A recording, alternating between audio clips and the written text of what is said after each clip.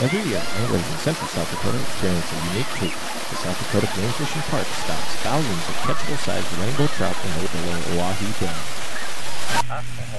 These fish offer an outstanding opportunity for families and experienced anglers to get out and enjoy the outdoors.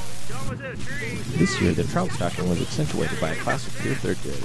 The students, taught by Mrs. Stout, received over 100 trout eggs to hatch and raise. The trout were incorporated into the kids' daily classes. To celebrate the release of the trout, students were invited to Oahe Marina to fish, practice casting, study invertebrates, and release their fish. Yeah, I know.